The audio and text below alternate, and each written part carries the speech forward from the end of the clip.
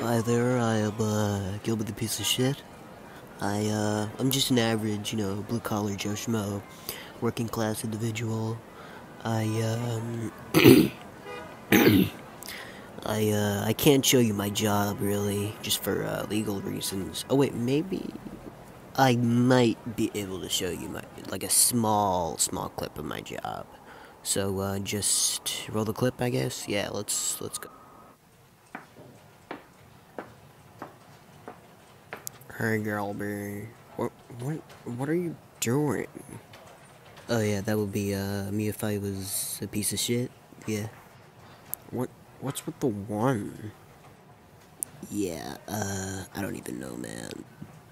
Just, just get back to work, okay? Alright.